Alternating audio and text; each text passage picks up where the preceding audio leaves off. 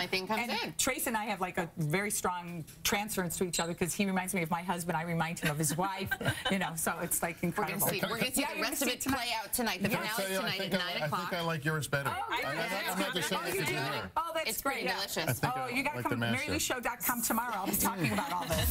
tonight at 9. Still ahead with just a few months to go. Is Jenna ready for her new bundle of joy? That is pizza tonight.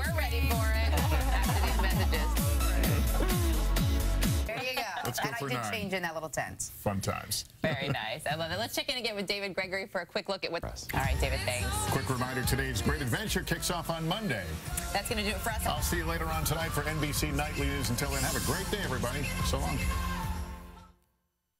Flashpoint with Devin Scillian. On the next Flashpoint, Kevyn Orr delivers his number.